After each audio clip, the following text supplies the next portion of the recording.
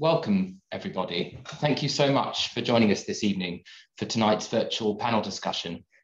My name is Toby Simpson. I'm the director of the Wiener Holocaust Library, and it's therefore my pleasure and honour to be able to introduce this evening's event. And I think the contemporary relevance of our topic tonight is obvious, but it's also underlined by the huge amount of interest we've had from our audiences. And I can see we're already over 100 participants this night, this evening. And uh, I, I think even compared to some high numbers we've had for online events during the pandemic, there's a real clear appetite to engage with this topic.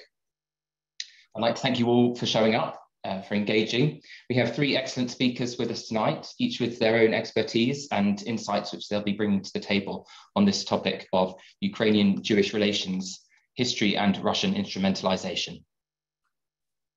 Many of you will have read the library's recent statement condemning Russia's invasion of Ukraine. And since then, we've all been shaken and horrified by what's unfolded in the ensuing war. And of course, these horrors continue as we speak in Mariupol and across Ukraine.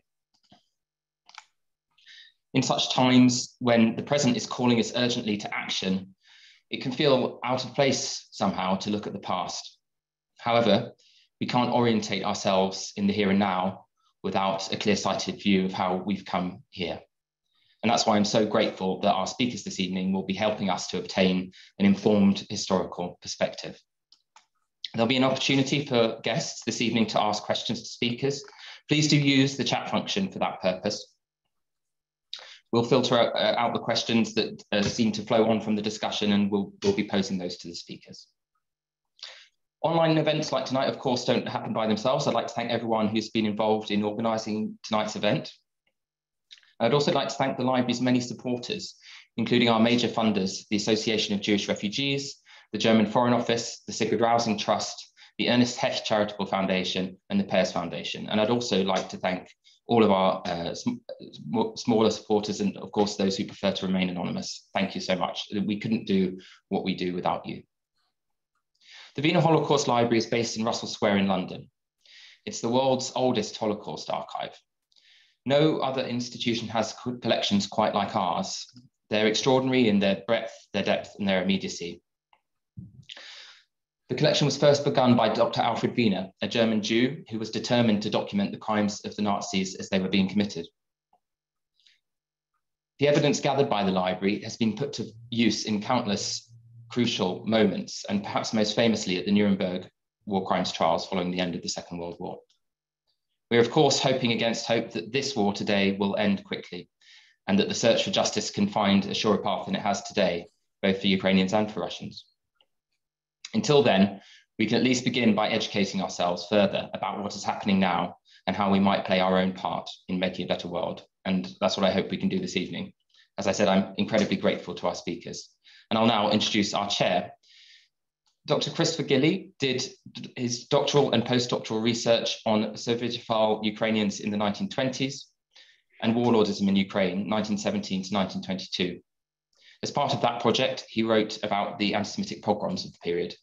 He then retrained as an archivist and is now working as our project archivist on the Wiener Library's digital transformation project, which aims to digitize a third of our entire holdings. Thank you, Chris, for the absolutely instrumental role you played in bringing this event this evening together. And also thank you for chairing this discussion. Over to you. Uh, thank you very much, Toby, for the um, that introduction. So when Vladimir Putin launched his attack on Ukraine, he did so with the spurious goal of denazifying the country. He described the government created by a democratically elected Jewish president as a group of, quote, drug addicts and neo-Nazis, unquote.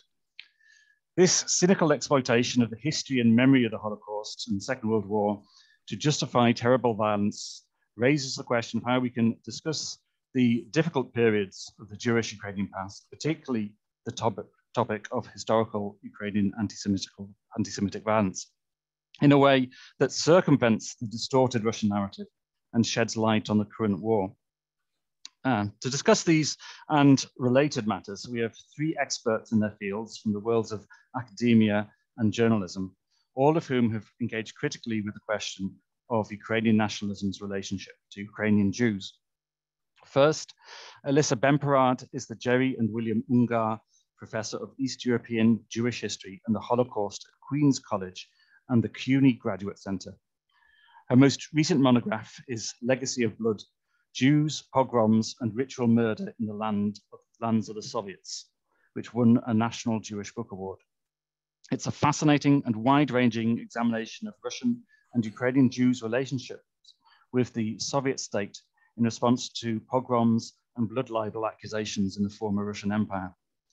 She also recently brought out a document collection on pogroms the late 19th century to the mid 20th century with Eugene M. Avrutin. Second, John Paul Himka is Professor Emeritus of History at the University of Alberta. He's the author of a very important trilogy of works on Galicia in the 19th century, but his most recent monograph is Ukrainian nationalists and the Holocaust, OUN and UPA's participation in the destruction of Ukrainian Jewry, 1941 to 1944. OUN here stands for the Organization of Ukrainian Nationalists and UPA means Ukrainian Insurgent Army. It's the most comprehensive, sensitive and convincing subject in the English language to date. Third, Sam Sokol is a reporter for the Israeli daily Haaretz, in the past, he's been a correspondent at the Jerusalem Post and has reported for the Jewish Telegraphic Agency, the Israel Broadcasting Authority, and the Times of Israel. In 2014 and 15, he visited Ukraine frequently and conducted extensive interviews there. Based on this, he wrote Putin's Hybrid War and the Jews. It gives a real sense of the variety of Jewish responses to the events, as well as the dilemmas faced by a community whose well-being was at times cynically instrumentalized by both parties in the war. Each speaker will in turn speak for about 10 or 15 minutes, and then we will take questions from the audience. Um, please enter any questions into the chat, and we will ask as many as we can. So if I could ask Elissa to start. Good evening, everyone. I'm very thankful to the library and to my esteemed colleagues, and especially to Chris, who brought us all together, and to all of you for being here. I think it is extremely important for us to come together and have a discussion, a serious discussion about history. It is our responsibility as historians and as journalists to counter with facts Moscow's false narrative used to legitimize this horrific war of aggression against Ukraine by distorting history, by demonizing Ukrainians as Nazis, present and Russia presenting itself as the world redeemer of Nazism. And it's, um, you know, to be honest, it's not always easy to be emotionally disciplined when we read about the fact that one in two Ukrainian children have been displaced, when we read about Ukrainian neighbors who bury their neighbors in haste in the courtyards of the towns where they have lived for decades. When we read about what is happening in Luhansk and Donetsk in the Sumy region, where Russian forces uh, destroy textbooks and works of um, history that talk about Ukrainian sovereignty or works in the Ukrainian language. And as the great writer Vasily Grossman said in his extraordinary work, Life and Fate, one of the most powerful novels of the 20th century, in which he discusses World War II, the Holocaust, and the Soviet totalitarian system, one of his messages is to speak the truth to power, to wrest language away from the regime, means to resist the dehumanizing aspects of totalitarian control that we see taking place now um, uh, in, in what is happening. As a scholar of Eastern European Jewry, I am intimately familiar with some of the darkest pages in the history of the Jewish communities of Ukraine, a history that goes back, uh, um, you know, hundreds of years, uh, that is based mostly on coexistence, not on violence. But I've written you know, uh, a book and, and, well, two books about the pogroms of uh, the Russian Civil War, an exceptionally brutal conflict that broke out following the October Revolution of 1917 and that lasted until 1921, 1922. It's a war between different armies and troops vying to control the territories of the former Russian Empire. And, you know, besides the Polish troops, the white uh, movement, we also have the Ukrainian troops that are struggling for independence against the Red Army. And I've chronicled the violence experienced by many Jewish settlements, especially those that are west of the river Dnipro, and I've chronicled the complete destruction of some Jewish, uh, small Jewish towns. Um, these, I would say that these tragic pages tell us the story of between 100,000 and 150,000 Jews who were murdered in the towns and cities of Ukraine, which was the epicenter of the violence during the Civil War. I don't want to get into the details of the military conflict. Uh, there's a lot to say about the context. Um, you know, you have a, a, civil war that grows out of World War One. You have famine, unprecedented carnage, shortages of food um, experienced by everyone, and all this, you know, led neighbors to turn against neighbors, and very often participate in looting and even killing um, uh, Jewish neighbors. Many pogroms were carried out by Ukrainian forces that were led by Simon Petliura's directory, the short-lived Ukrainian People's Republic. And, um, and many, uh, you know, uh, members of the Ukrainian forces came to resent Jews, as did, by the way, all other troops at war for an alleged lack of loyalty. So, in many cases, this lack of loyalty was identified with a pro communist position. So, Jews are identified as saboteurs of the Ukrainian dream of independence. In fact, many Jews, eh, both on the right in terms of Zionist groups and, and political parties, and on the left, the Bundist parties, um, had supported an independent Ukraine at least until the end of 1918 and early 1919, when you have a peak in anti-Jewish violence, um, and when most most of them, most Jews, shift their allegiance and come to support the Red Army in what we could see as a vicious circle of a self-fulfilling prophecy. They they they support the Red Army not because of ideological reasons, but they choose in a way the lesser of two evils because, you know, as, as a minority group, they choose protection. Uh, and the Red Army killed less Jews compared to other armies or stopped killing Jews altogether. Of course, the fact that there were many rumors of Bolsheviks being led by Jewish socialists, or you know, there were anti-Semitic stereotypes, um, the fact that Trotsky, Leon Trotsky, uh, was the leader of the Red Army, you know, his Jewish background, did not play in favor of, uh, of Jews who came to be identified as a compromised political actor. But we also have the fact that the white forces, so the white movement that is um, fighting against the Red Army and against other armies in order to reinstate the Tsar, or at least in order to return to um, uh, Tsarist Russia. Um, the fact that this movement weaponizes a discourse of Jewish communism through systematic propaganda also plays a role. And I would say that it also influenced Ukrainian troops uh, and to some degree, uh, Ukrainian neighbors. Now, a few comments that I would like to make that maybe can help us understand some of the dynamics at play um, in Russia's war against Ukraine, which started in 2014. Um, so, in other words, there are continuities between Russia's um, distortion of history, weaponization of history, and the Soviet politics of memory with regard to this memory of violence, especially in the interwar period, which is again a reminder of the deep ambivalence of the Soviet state towards anti Semitism, towards condemning anti Semitism. While the state, the Soviet state, condemned anti Semitism on paper, it was often you know, eager to ignore anti Semitism or to weaponize it in its best interest, in the best interest of the state. So, with regard to the pogroms, the Soviets shifted between acknowledging them and downplaying them, ignoring them.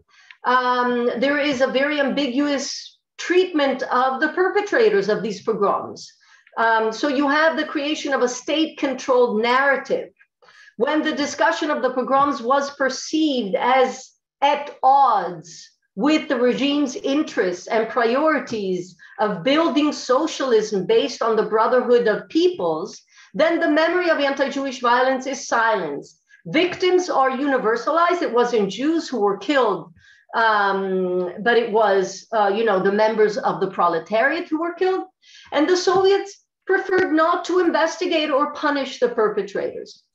We have, for example, many trials against pogromchiki, those who carried out pogroms in the early 1920s, uh, so after the Civil War, who are either not punished or whose crimes of killing Jews are not mentioned at all in the verdicts.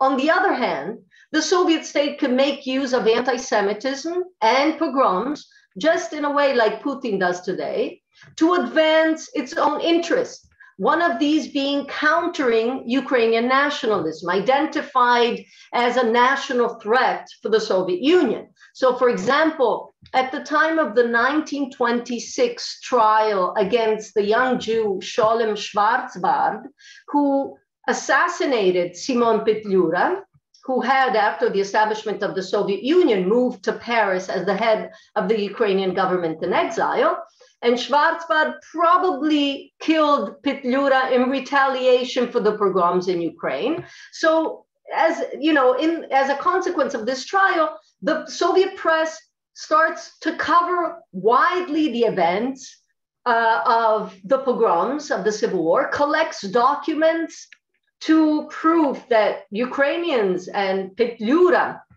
were responsible for the pogroms and send these documents to Paris to, so that they can be used as evidence in the trial.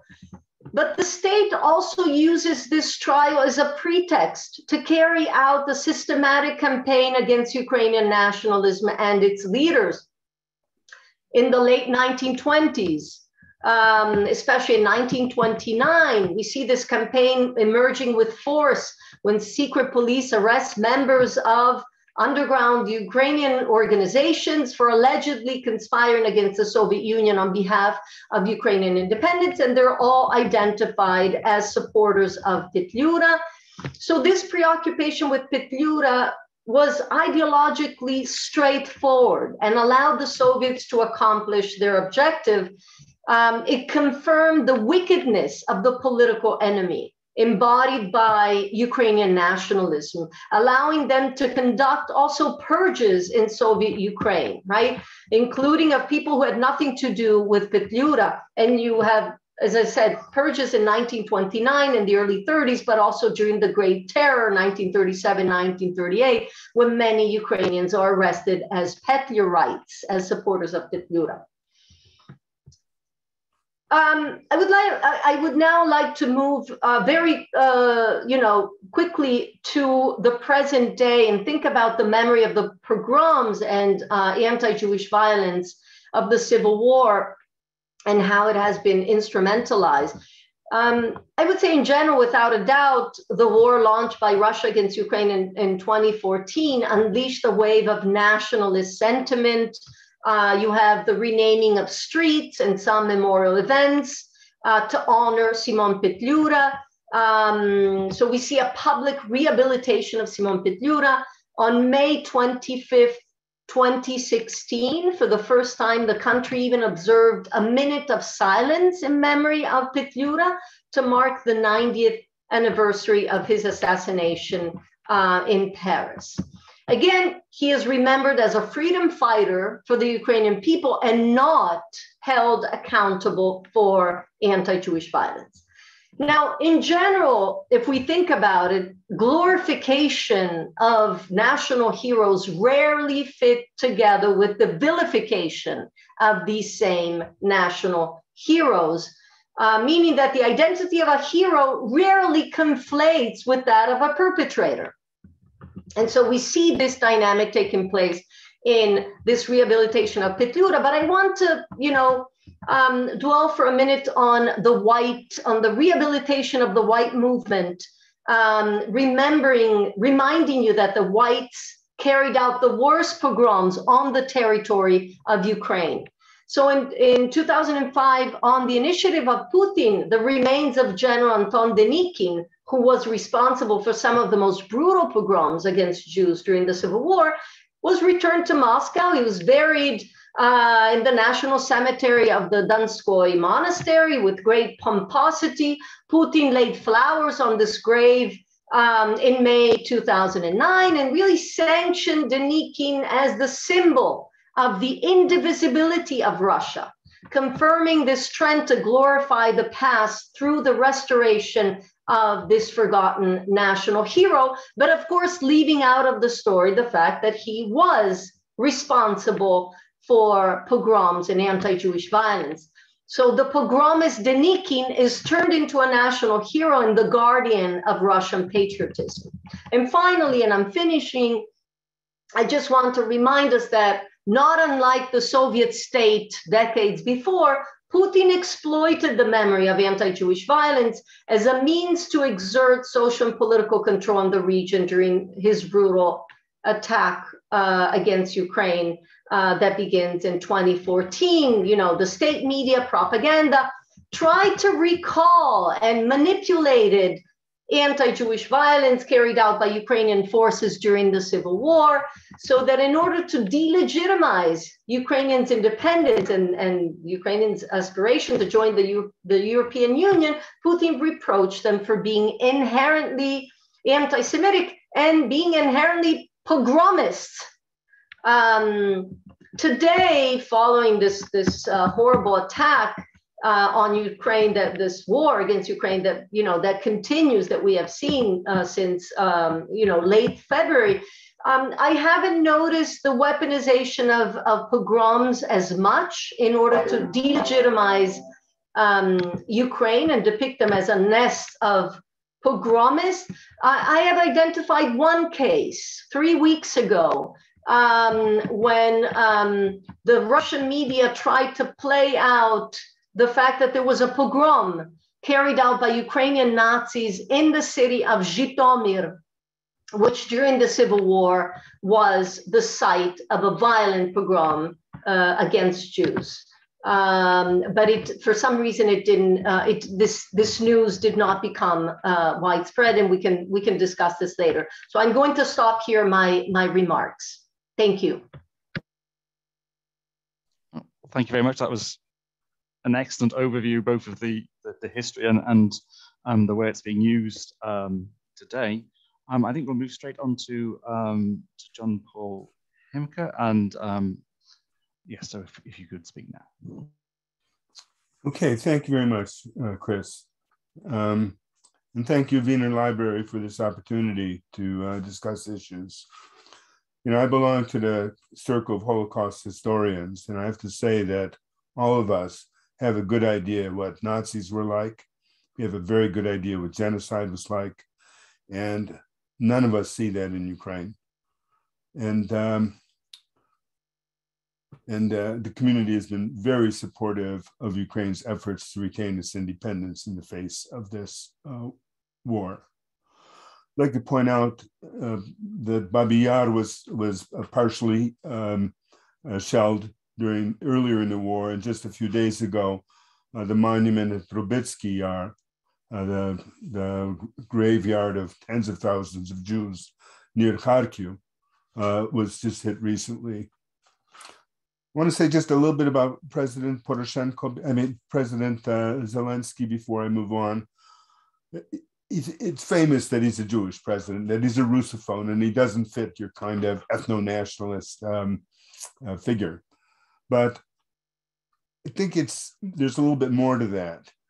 Uh, in the 2019 election, he was facing a real ethno nationalist, Petro Poroshenko, whose slogan was Army, Language, Faith, all of which he understood very much in a, in a, in a nationalist way.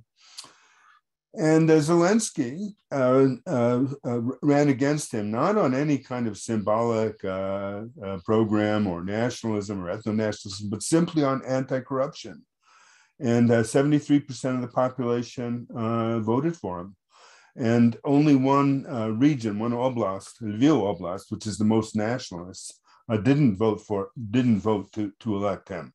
So um, if Putin would, his propaganda might have been more successful in 2018 when Poroshenko was in power. And I, I will add that in 2018, the president of the United States would have probably been more tractable than the one that's uh, in power right now. Anyways, to return to, to come to the, to the real thing I'm talking about, uh,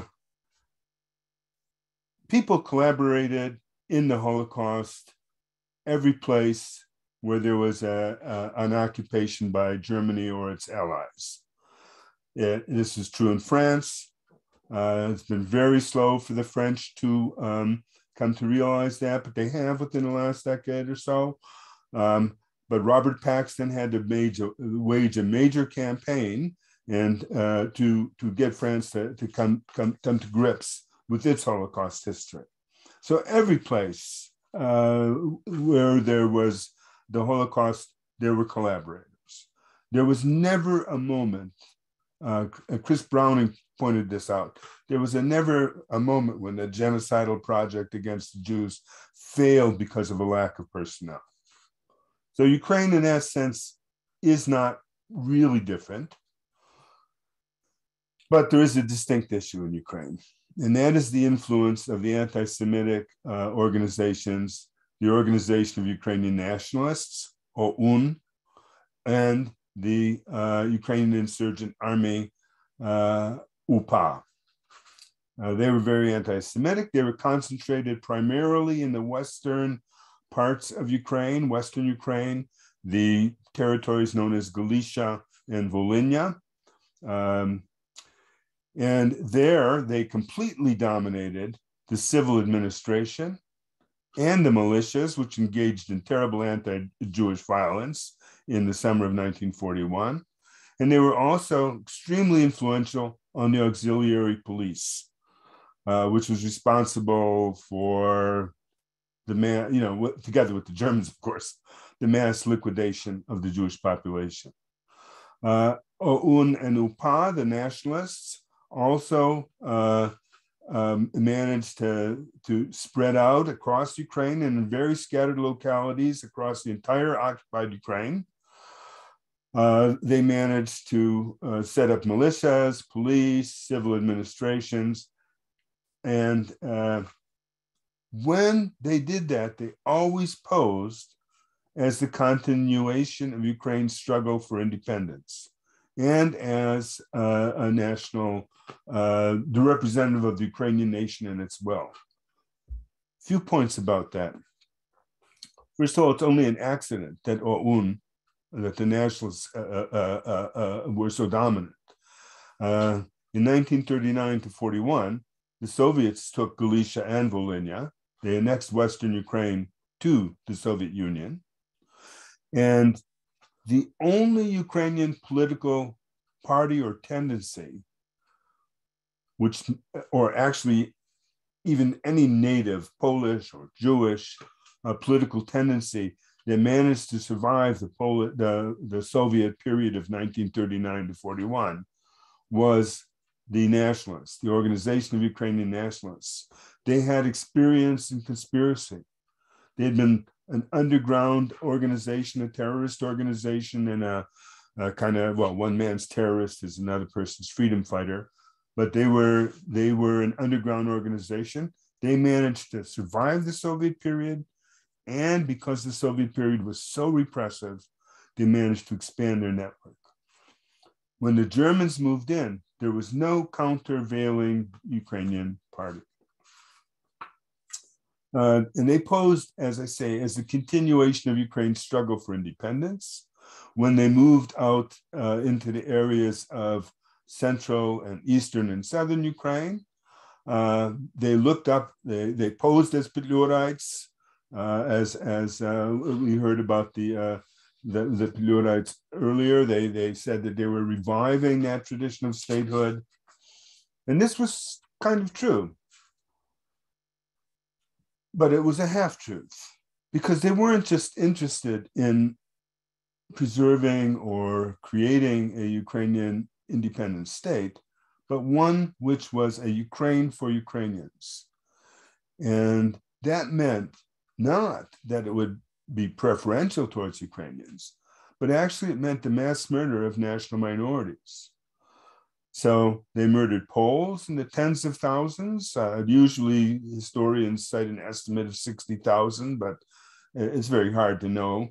Uh, they were involved in the murder of Jews and other non-Ukrainians, ethnic Germans, Armenians, Roma, um, Czechs. There are instances there. Um, so they were quite a violent organization. Uh, the Organization of Ukrainian Nationalists took part in the Holocaust in three phases. First, there was anti Jewish violence in the uh, summer of 1941, just after the Germans uh, invaded. Uh, the Organization of Ukrainian Nationalists founded militias, Ukrainian National Militia, and those militias were involved in the murder of the Jewish population, uh, either helping the Germans or on their own, and probably killed about 15,000 uh, Jews in the summer of 1941. The second phase would be the police. The police were not under the control of the nationalists entirely, but the nationalists had infiltrated the police. And uh, uh, when the when the uh, at one point the po police began to desert from German service, many of them went into the armed force of um, of the nationalists, which was the Ukrainian Insurgent Army, UPA. That force hunted Jews uh, in the forests and killed them, and in fact issued an order to the to the population and to, to I mean, pardon me, to the UPA that they should kill every Jew that they find and any Ukrainian who hides them. So there's no question that they have this massive complicity in the Holocaust against the Jews. One kind of thing that happens is uh, you can read in, in, um, in, in, Jewish memoirs, and you can read this, uh, for, for instance, Daniel Mendelsohn's book, The Lost, that many Jewish survivors feel that the Ukrainians were worse, the worst. Partially, I think that, you know, in these mixed regions of Eastern Europe, um, people could be speaking Polish, they could be speaking Ukrainian, they could be speaking Russian, because these languages are floating around and they still float around over there. They still float around. People use various languages. But, the, but when OUN was posing as the representative of the Ukrainians, then uh, they politicized and I think really besmirched the idea of, of any kind of Ukrainian national movement when they identified it with this strong anti Jewish and anti minority uh, violent policies of theirs. So lots of people said, well, these are the Ukrainians. And it's very interesting when you read when you read Jewish survivor uh, uh, uh um, testimonies and memoirs that you know, a lot of them will say, well, the Ukrainians did this, the Ukrainians did that, usually in a negative context. But they'll also say, oh, there was a neighbor who helped me, there was a peasant who helped me, this and that. Those are also Ukrainians, but they're not identified politically with the Ukrainians. And this creates, I think, a kind of kind of illusion. Because you know there are there are many Ukrainians like during World War II, perhaps 100,000 Ukrainians were involved on the German side. Oh, no, probably 250,000 were involved on the German side, one way or the other, as collaborationists or in military formations. But, uh, but the whole population of Ukraine was, you know, about 35 million. So it's, it was a minority movement, but an influential one, and had some support from uh, the Germans. Now, this OUN and UPA were the um, recipients of a state cult and a glorification under two presidents. Under Viktor Yushchenko, who was president after the Orange Revolution from 2005 to 2010, and particularly under Petro Poroshenko, who was president from 2014 to 2019, who followed the Euromaidan. Uh, both of those have been, both of those presidents promoted the cult of the nationalists, uh, denying their uh, war crimes or hiding their war crimes, being silent about them. Um, but you can see the black and red flag at many of the demonstrations, which was the OUN flag. You can hear that now lots of people use the phrase uh, glory to Ukraine, Slava Ukraini, which was really started as a, a fascist uh, salute in the earlier era. And um, uh, President Zelensky has not taken measures to eradicate this state cult, but neither has he promoted it. I think I think his policy is to let things go and see how see how they turn out. Uh, now, the Soviet Union never understood the Holocaust, period, or at least didn't recognize it in, in, in, in, the way it deserved to be recognized. And they never understood it intellectually, and they could not use it effectively in propaganda. Oh, there were occasional little successes, but basically they did not understand what happened in the Holocaust in Ukraine. And for them, it was not a big issue. Mass murder was not a big issue to them, not the murder of the Jews, not the not not not mass murder in general, but for them, treason to the motherland was the issue. And hence, they never understood that it was OUN UPA that was the major collaborative force in Ukraine. They thought it was, well, they concentrated most of their propaganda on the Waffen SS division Galician, which had a very minor connection to the Holocaust and a relatively minor role in the mass murder of Poles, but who swore an oath to Hitler and were in, in, the, uh, uh, in the German forces. So for them, for the Soviets, this was the, this was the enemy. And they never, never got into the, to the real issue. Now, Putin had some better historians at his service and made somewhat better use of a more accurate understanding of the Holocaust history and anti Ukrainian propaganda. But this remained marginal. He was still caught up in refighting World War II uh, in the sense of uh, who was on our side and, and who wasn't. Uh, and again, this is not really the Holocaust, and this has little to do with, uh, with, with, the, the fate of the Jewish population. Um, in actual fact, uh, Russian scholars or, uh, uh, well, Russian scholars, I would say, published very little on OUN and UPA and their role in the Holocaust. Most of that work has been done by Western historians like Kai Struve and uh, Grzegorz uh, Liebe, or Per Anders Rudling, or people of Ukrainian heritage uh, like Marco Carynnyk or myself, or actually mostly uh, Ukrainians in Ukraine, people like Yuri Radchenko, Marta Havryshko, and others. Uh, has figured very little in, in Russian scholarship or propaganda. Uh, the biggest criticism of OUN UPA and its role in the Holocaust comes from uh, either Western scholars or from uh, Ukrainian scholars, and not from not from the Russians. They don't really understand it, and you can see that sometimes uh, in how it's figured in the most important propaganda texts of, of that's coming out of, of Putin's Russia. So in his in his famous essay on the unity of Russians and Ukrainians of 12th of July 2021, uh, Putin wrote only the, in that long essay. This is all he had to say about the Holocaust. In the years of the Second World War, the radical groups of Ukrainian nationalists used discrimination against them in interwar Poland as an excuse for terror not only against the Polish, but the Jewish and Russian population. That's all he has to say about the issue. And he doesn't mention it at all in his major speech on Ukrainian history of 21st February 2021.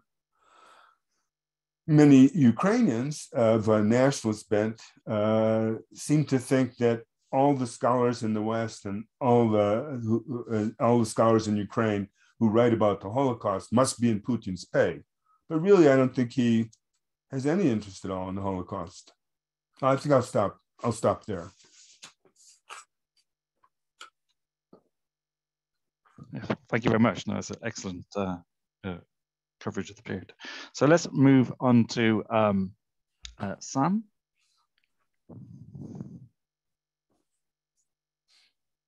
Here, can you hear me?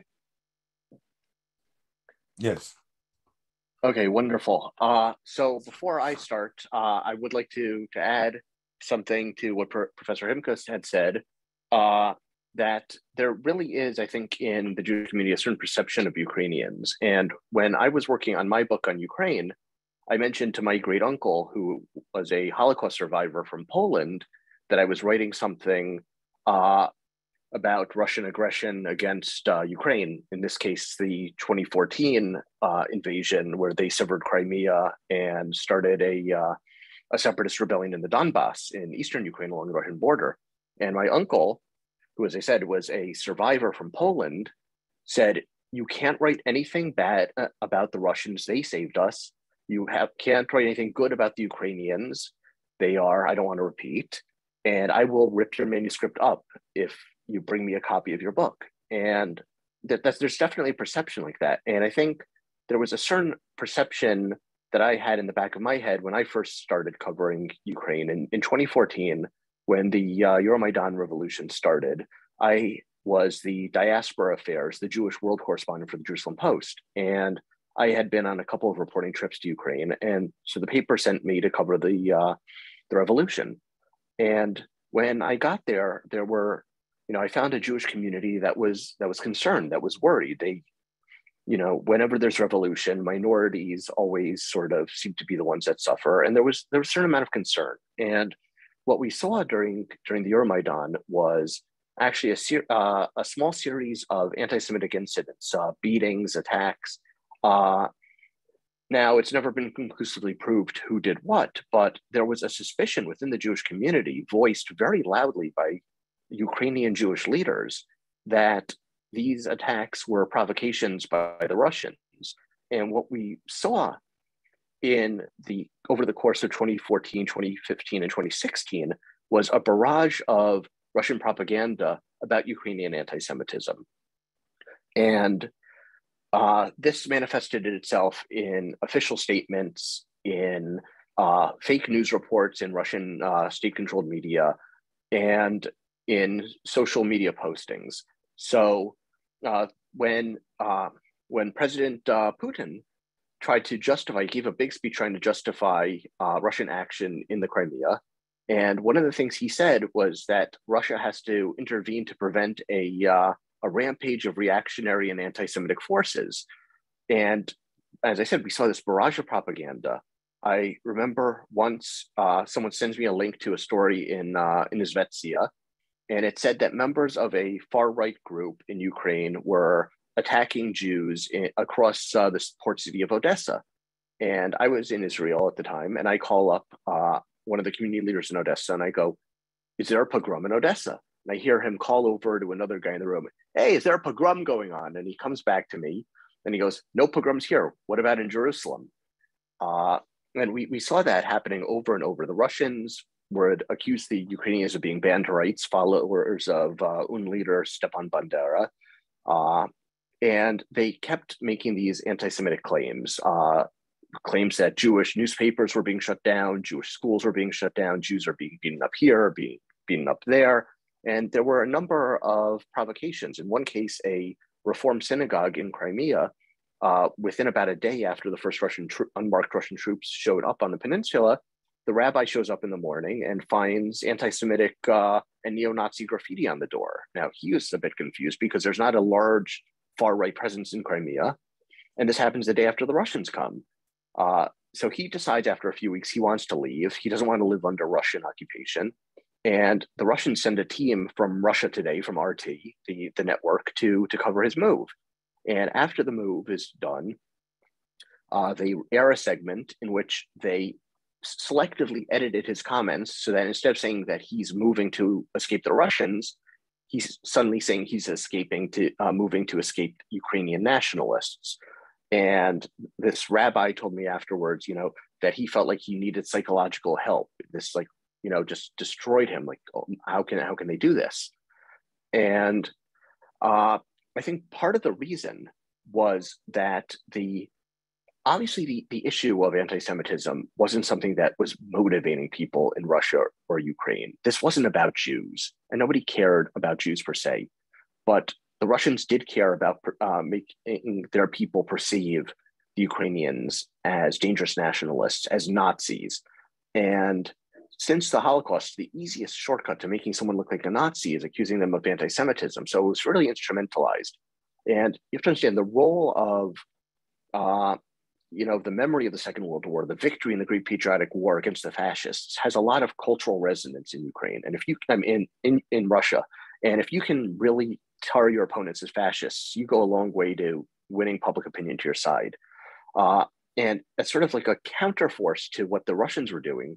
The Ukrainians looking to create their own, uh, you know, narrative shorn of all, uh, you know, Soviet influences, their own new national stories, and they looked back to history to figures who had fought against the Soviet Union, against Russian imperialism, and they decided under Poroshenko to revise the memory policies of uh, of Yushchenko to honor people like uh, Bandera and Petlura and Shukhevych. And uh, the difference being this time, uh, the difference being though, that while the Russians were accusing the Ukrainians being anti-Semitic, the Ukrainians were uh, trying to sort of whitewash the, the history to say, no, these people saved Jews, they were on the Jewish side, they were Democrats, they were progressive. Uh, and this was really something worrying to the Jewish community, but really the the, the idea that the Ukrainian state was was Nazi or fascist was just ridiculous. Uh, prior to the Euromaidan revolution, about, if I remember correctly, about 7% of the Verkhovna Rada of the Ukrainian parliament was comprised of members of the far right anti-Semitic Svoboda party. These are as close to banderites as you can get. After the revolution, their uh, you know their popularity cratered. Uh, once anti-Russian sort of politics became mainstream and wasn't confined to to these groups, uh, I, you know, they just kept losing election after election. I think out of more than 400 lawmakers now, there might be one representative of Svoboda, and some of what we, you know, at, at, we've seen this sort of fall of the far right in terms of electoral popularity, in terms of political influence. We did we did see during this period uh, you know, the rise of certain far right movements like the Azov Battalion, which I think was tolerated because it was fighting the Russians, and the formation of its own sort of street vigilante groups, which engaged in you know violence against members of the Roma and the LGBT community. Uh, but politically, the far right, like the extreme far right, really was was marginalized. And after Zelensky won, you know, in a landslide against Poroshenko, we saw a couple of you know really encouraging steps. One of them was that he sidelined uh, the uh, very powerful and influential Interior Minister Arsen Avakov, who was really seen as a patron of far right groups. Uh, and second is that he uh, purged the uh, Ukrainian Institute of National Memory, which really ran memory policy, helping push the renaming of streets and educational programs. He replaced the head of the uh, of that institute, uh, Volodymyr Vyatrovich, who is an avowed Banderite, with uh, Anton Drobovich, whose previous position was working at the Babi Yar Holocaust Memorial. And there, there was a limit to, I think, to what Zelensky was legally able to do because uh, a 2015 law that had been passed in the Rada essentially made it uh, illegal to denigrate the OUN and the UPA and other groups that fought for Ukrainian independence.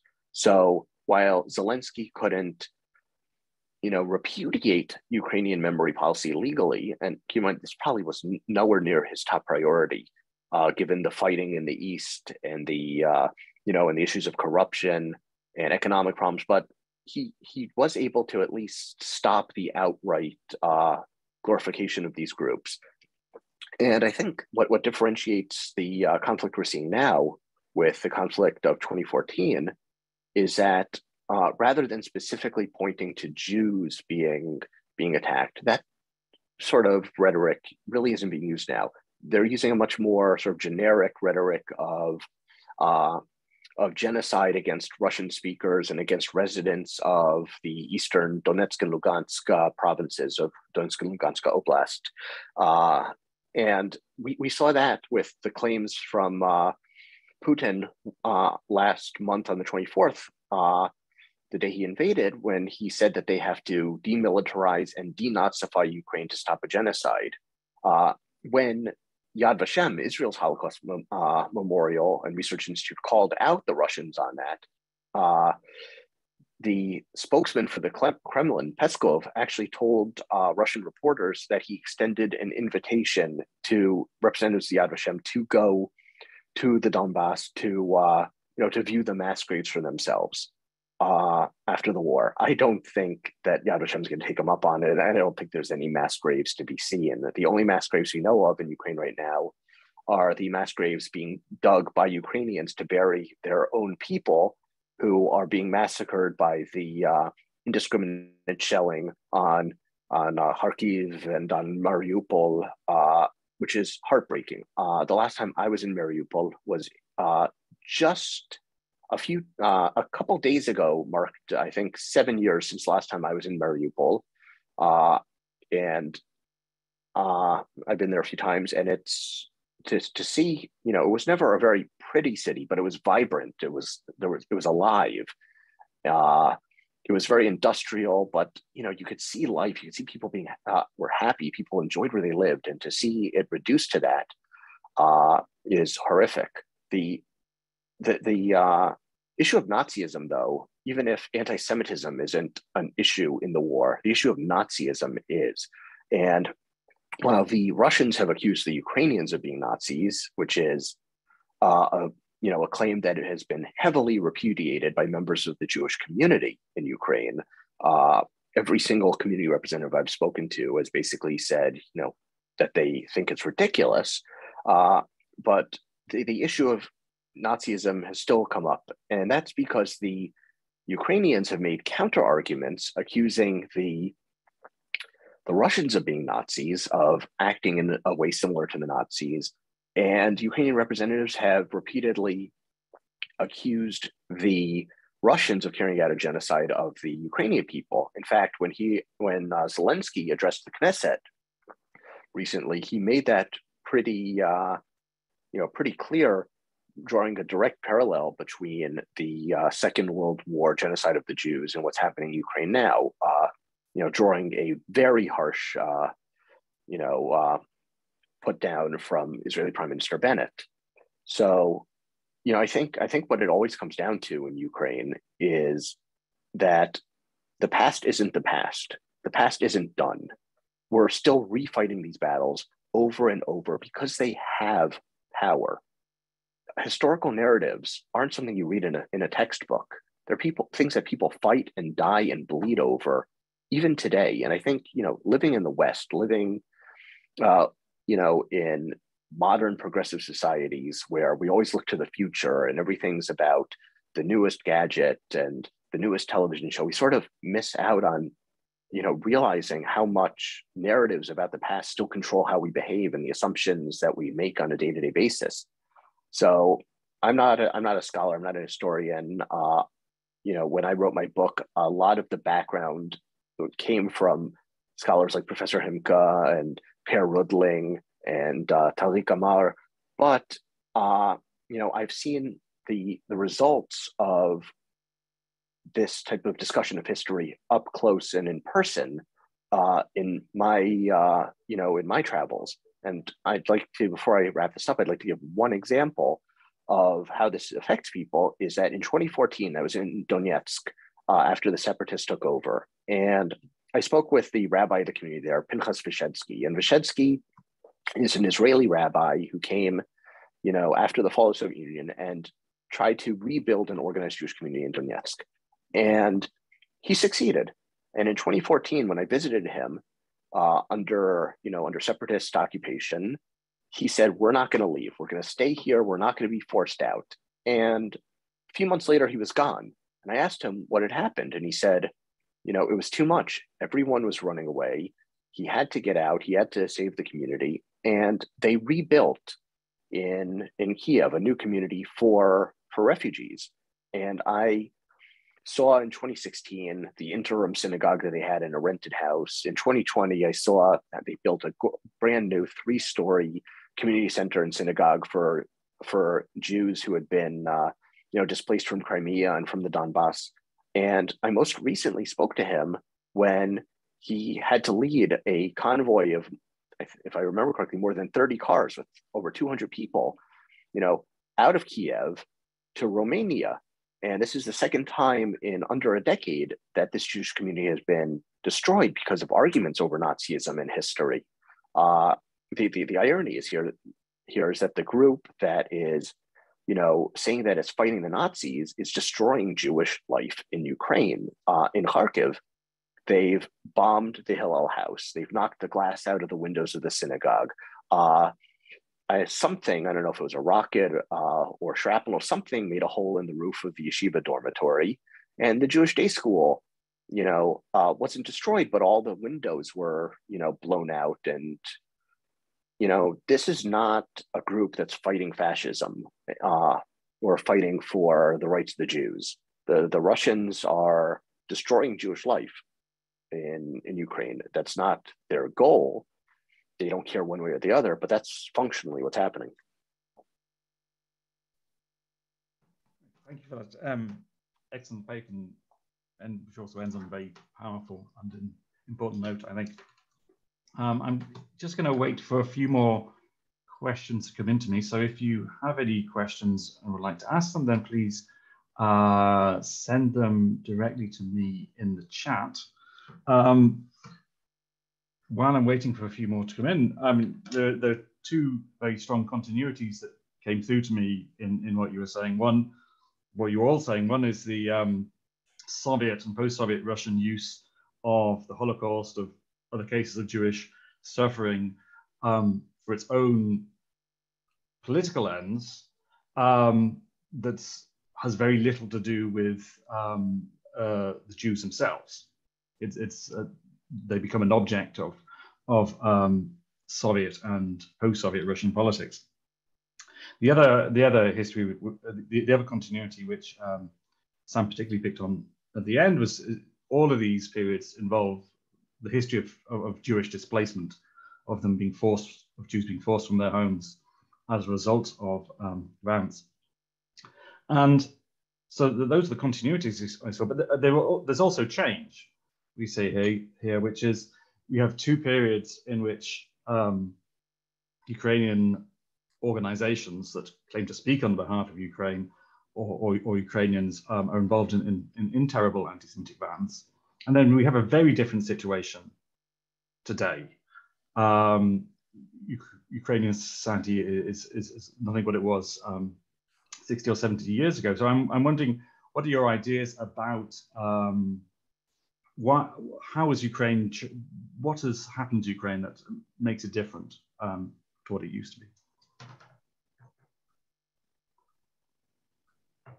The question is for me, Chris? Oh, you could all answer.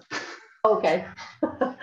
um, I, uh, you know, that's an excellent question. I, I wanted to, and perhaps this is part of the question, but it kind of also follows uh, some of the comments made by um, John, Paul, and, and to some degree also Sam um, about the perception of Ukrainians as, um, you know, as um, as evildoers, as as Nazis, as violent, as um, and I, I want to connect this, you know, not only to the memoirs uh, that are available with regard to the the civil war when you do have thousands of Ukrainians who actually help Jews flee uh, the war, and when they help them, they are not they're referred to as my neighbor, but they're not ethnically identified as Ukrainians. But when they kill them, they are identified as Ukrainians.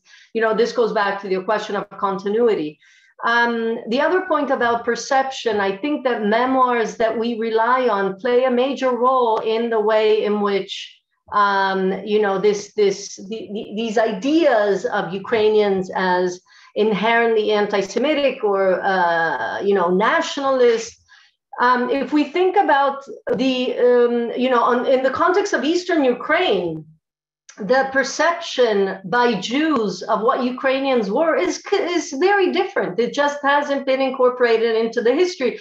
Because if you interview Red Army soldiers, Jewish Red Army soldiers, they will tell you, oh, Ukrainians, chlopci, you know, you know, they were they were friends. They fought against Nazis. They fought against fascists. So there's a clear sense of the fact that Ukrainians, you know, 1.5 million Ukrainians died fighting against Nazis during World War II in the Red Army.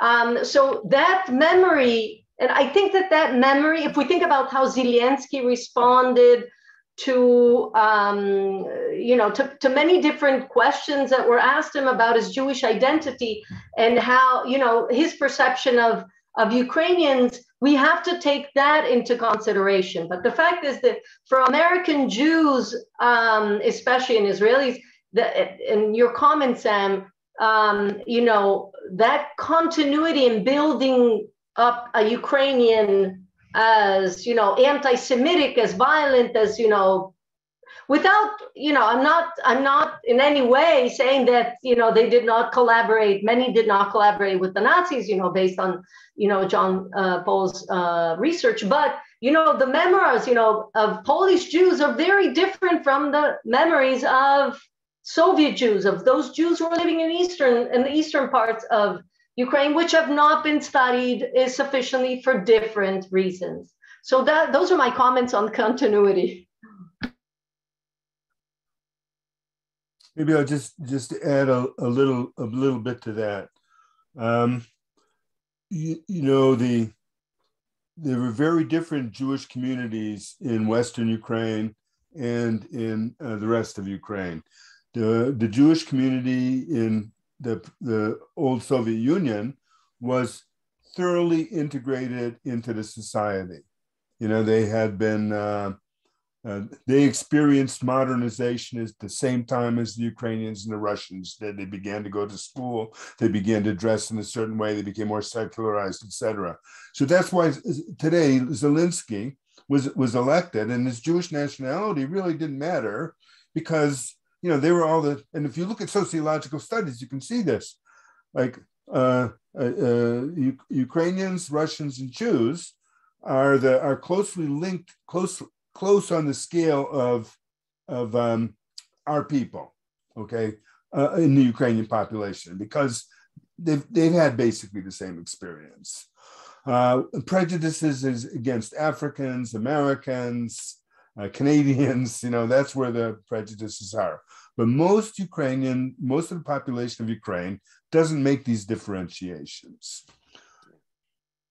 Also, the, the survival of, uh, I would say that the perception of Ukrainians is particularly anti Semitic uh, during the Second World War comes from, the, as you say, the Polish Jews, uh, because they actually left and they had um, a lot of time. They, you know, they, were interviewed by the Central Jewish Historical Commission and many other uh, agencies, and they they they remember the Ukrainians that way. But the the Jews in the rest of Soviet Ukraine, uh, those who weren't killed were mainly evacuated to the east. And they didn't experience experience the holocaust in the same way. And when they came back they didn't go to the west. They didn't go to israel poland or the united states. They remained in the soviet union. Uh, so um, we get a kind of skewed perception because of uh, kind of really demographic accidents and political geopolitical divisions uh, i hope that made thing, some sense yeah. one thing i would add to that is, well, first of all, uh, you mentioned uh, prejudices. I can't imagine someone being prejudiced against Canadians. Uh, yeah. They are. But uh, in any case, there's something that I've noticed in in my interviewing over the last uh, decade, which is that after the fall of the Soviet Union, Jews who were living in Ukraine saw themselves as, you know, the ones who were members of organized Jewish communities, at least, ones who weren't fully assimilated in to the larger uh, cultural context, saw themselves as Jews in Ukraine. After Euromaidan and after the beginning of the war in the Donbass, there was a change that I've been hearing from people. We're not Jews in Ukraine, we're Ukrainian Jews. That the Ukrainian part of their identity, uh, you know, started to take on uh, more of an importance, that they actually started thinking of themselves as Ukrainians.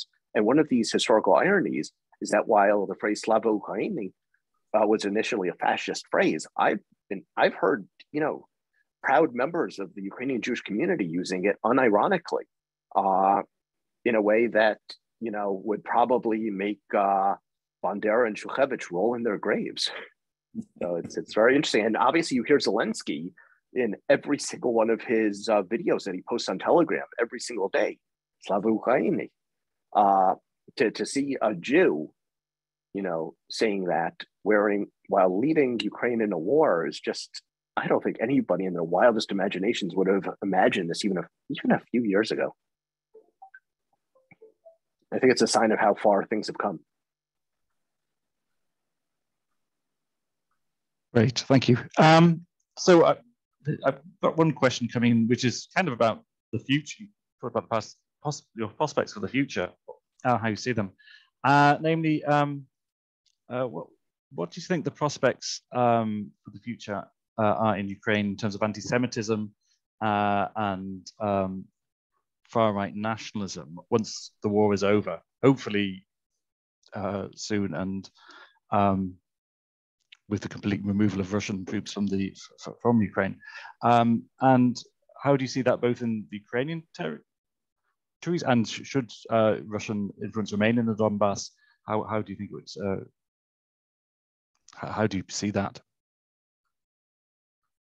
Okay, I, I guess I'll start. Um, first of first of all, what I fear the most is the backlash uh, against refugees in Eastern Europe. You know, we have almost four million uh, Ukrainians who have uh, been, you know, welcomed and and helped um, in different Eastern European countries, um, Poland primarily. But I don't know what you know what the backlash might be.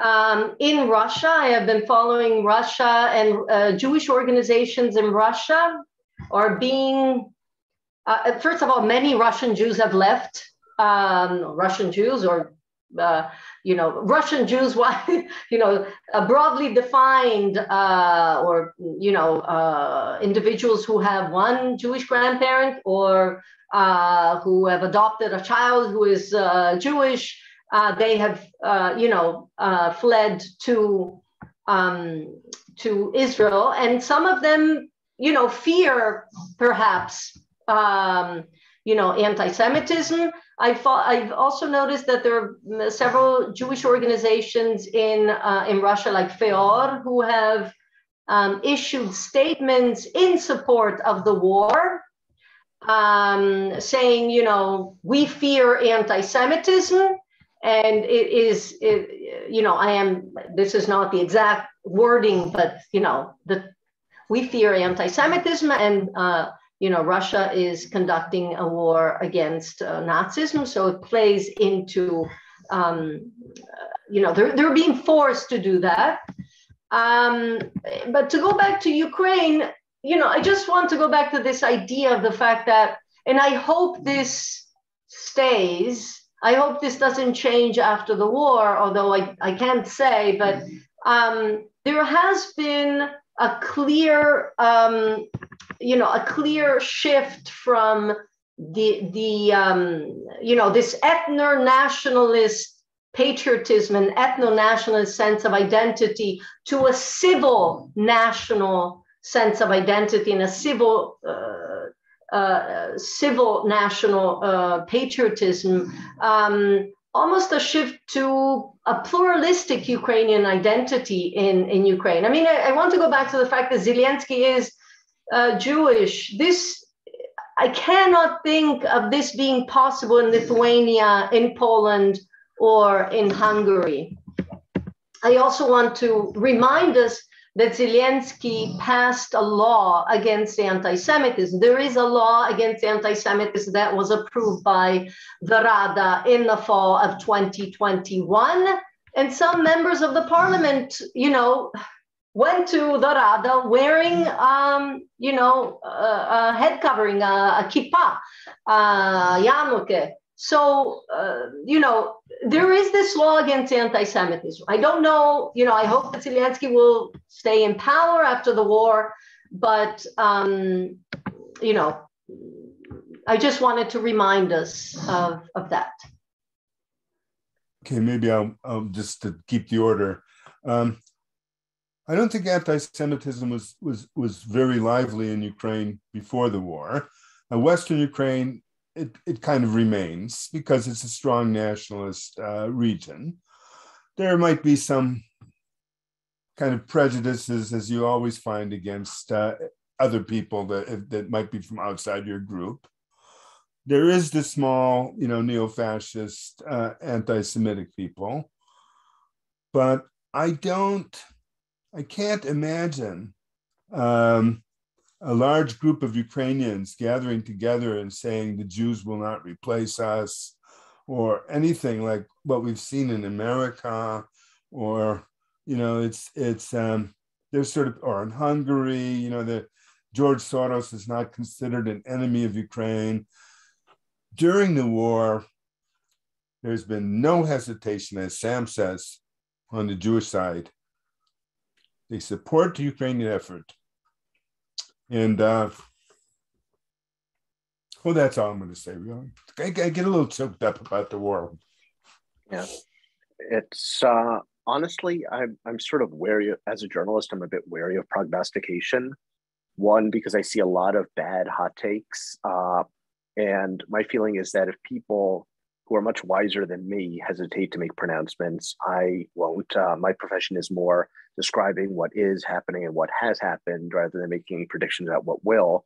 Uh, what I can say that if Zelensky, after the war, does not want to continue in politics, I hope he makes another uh, another sitcom because I've been uh, a big fan of his comedy. What what's something that's just you know, sort of, uh, I don't know how relevant it is, but something that's just been interesting to me about his leadership is there's, you know, a saying in the entertainment business that the best dramatic actors are comedians. And I think part of what's been so amazing about his leadership, a lot of it is organic. It's who he is. It's a lot, it's just sort of come out and been able to flower because of the circumstances. But part of it, I think, is that, you know, he played the president on a television show before becoming president. And now when he's in a war situation, he's able to use those skills that he's developed as an actor to turn himself into someone who can inspire a nation.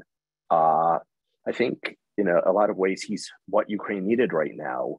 Uh, you know, you you don't see Putin on the Russian side going and making videos and being accessible and speaking off the cuff. He's he's used those skills as as a comedic actor, transitioned so to speak, to a dramatic actor as president. And he's really putting those skills to good use. And if he goes back to comedy, whatever it is, uh, I'll watch it because he, he's a funny guy. So um, there's a question here specifically about the um, "Glory to Ukraine" slogan, um, and the person asking um, the question wants asked whether does it indicate that Ukrainians are one, unaware of their country's true history, or two, at the very least, highly nationalistic, and I would add three, something or something else.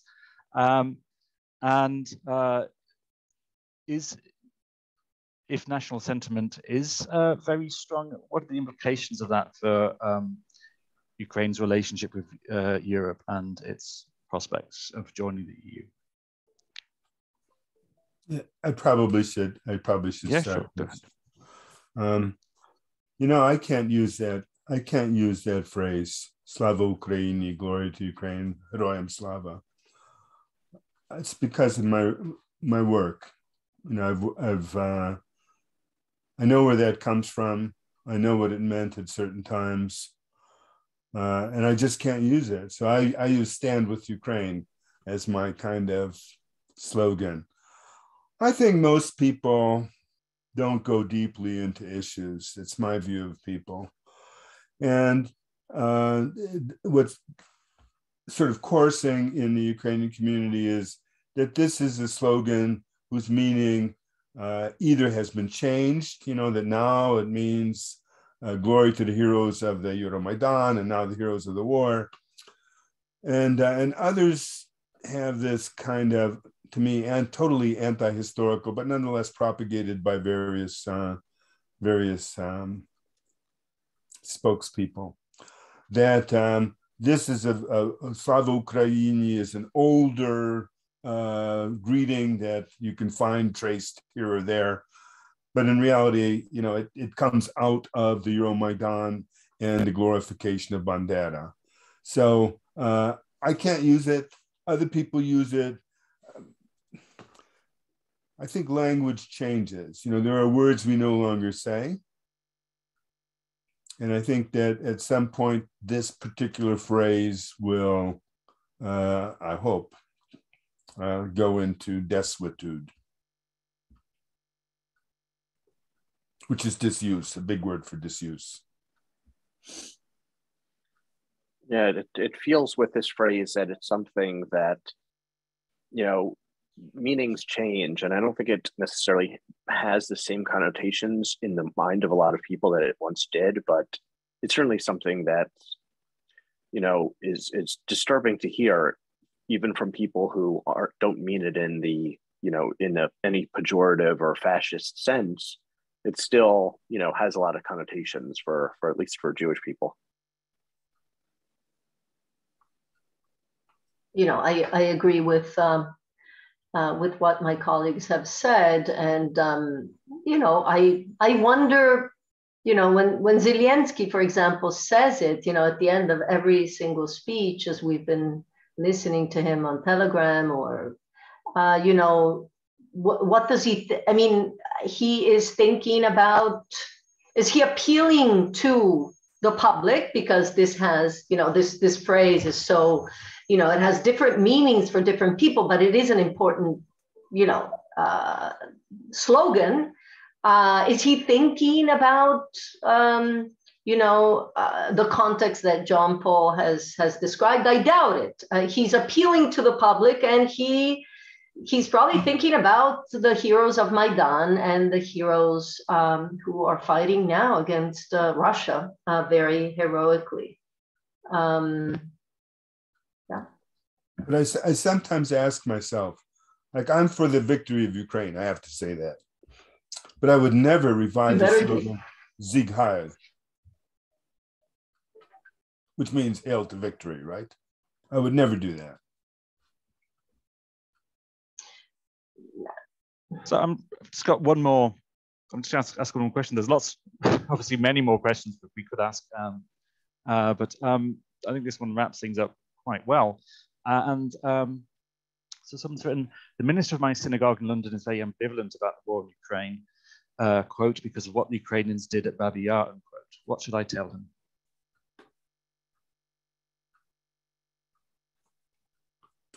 So maybe well, Lisa, you start. I, I can start. I mean, I don't have uh, words of wisdom. Uh, I would I would say that it, one cannot generalize, just like one cannot say the Jews behave this way. You know, there are Jews on, uh, you know, if you think about politics, there are Jews on the left, on the right, the center, Jews who support Trump, Jews who hate Trump. Um, and you know we cannot generalize then i would you know i would add some numbers from john paul's research um, and and i would also add what i said you know that there you know the fact that 1.5 million ukrainians had died fighting against the germans you know is is an important number to to take into consideration. So those are my two cents. And, you know, I'm just going to add, I've been studying the Holocaust now um, really since 1988. I've been writing books on other topics too. But um, so far, nobody has been able to identify what Ukrainians were involved at Babi Yar. We don't know. Could have been the Bukovinsky Kurin, a particular unit that came out of uh, out of Chernivtsi Oblast. Could have been some other local police formations. Nobody has been able to identify it. We don't have any sources that that that settled the question. Um, so I don't quite know uh, what Ukrainians did. They did something because the Germans could not have done that by themselves. Uh, and I agree 100%, 100% with the idea that you cannot make a generalization about a nation. Uh, as a journalist, obviously, I can't advocate for one side or another or tell people what to think.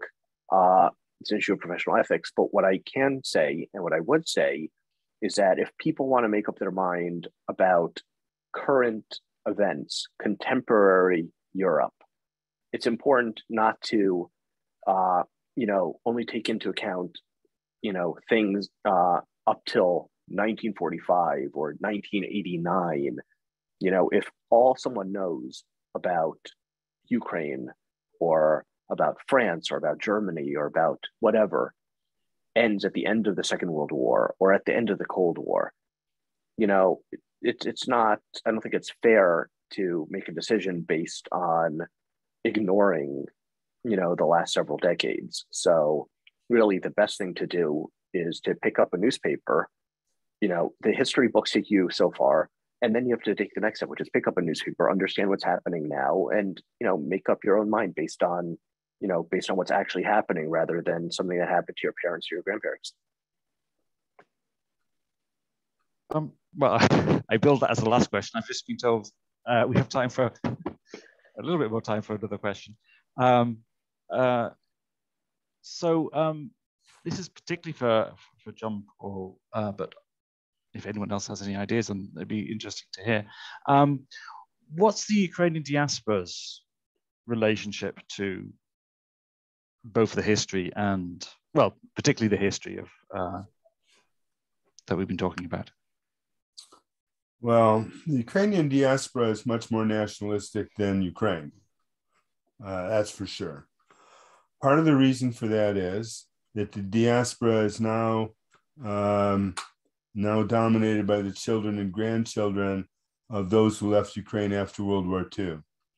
I'm I'm really kind of odd because I am the grandson of a Ukrainian miner. Um, uh, so we left before the war, before World War One and World War Two. Um, but most of the diaspora now is people who were, as I say, the children of those who, who fled. Now, many of those who fled were involved, let's say, in the propaganda department, uh, collaborating in propaganda, they were writing for the newspapers and under the occupation or editing the newspapers under occupation or they were involved in the police or they were involved in the civil administration uh, or they were members of uh, or UPA or they were in the Waffen SS Galizien, et cetera, et cetera, et cetera.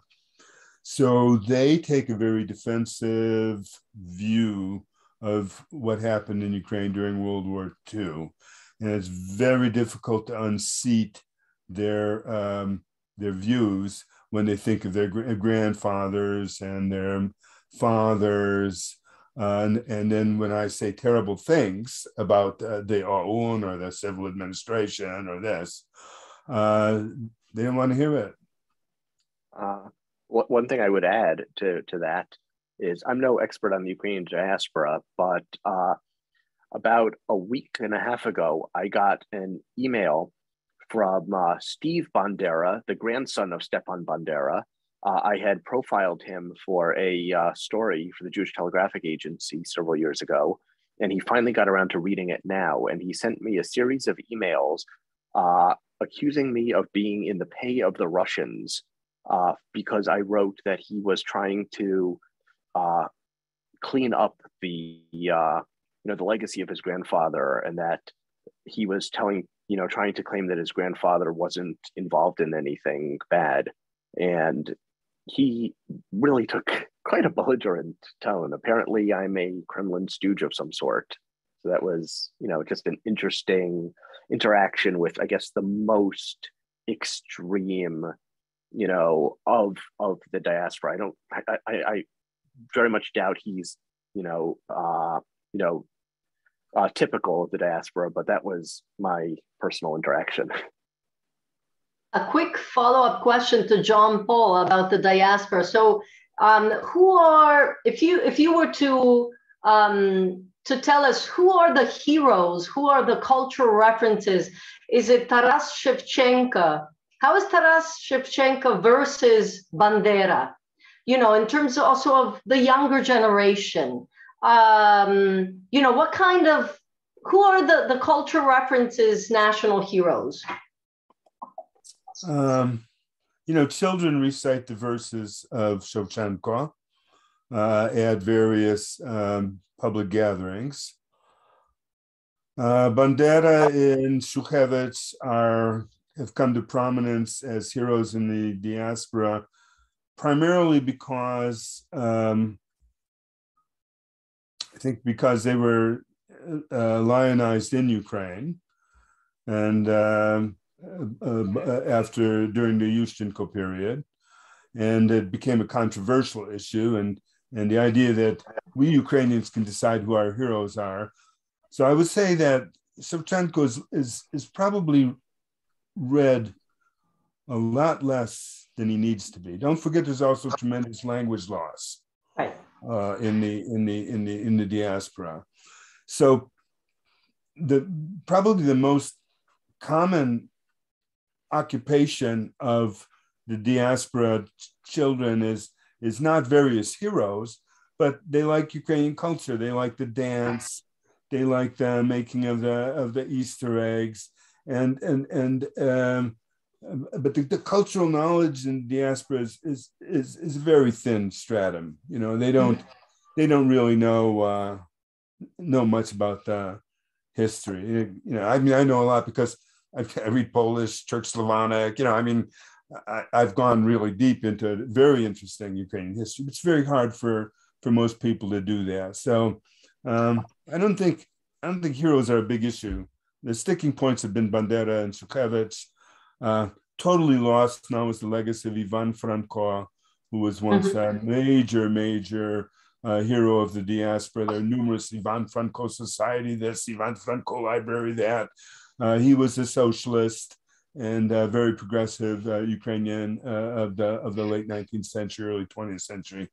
So uh, uh, it's, it's hard to, it's hard to talk about who are the heroes of the young. Um, right now, like if I talk to my son, he's he's in, he's in his later 30s, I guess. Uh, for him, the heroes right now are the Ukrainians fighting against the Russians. I mean, he's just amazed. We all are. Mm-hmm. Yeah. Well, thank you very much. Um, I'd like to thank our three speakers for giving three excellent uh, papers um, that I think really were insightful and managed to cover an enormous amount of ground in a very short time. And I'd like to thank um, the audience for, for listening and uh, and for all your questions. Sorry we weren't able to ask them all. Thank you. Pleasure. Thank you. Thank you. Thank you, Thank you Chris. Nice to meet you, Elissa. Thank you to everyone. It's a pleasure. Nice to meet you all too. Yes. Bye-bye. Bye. Bye.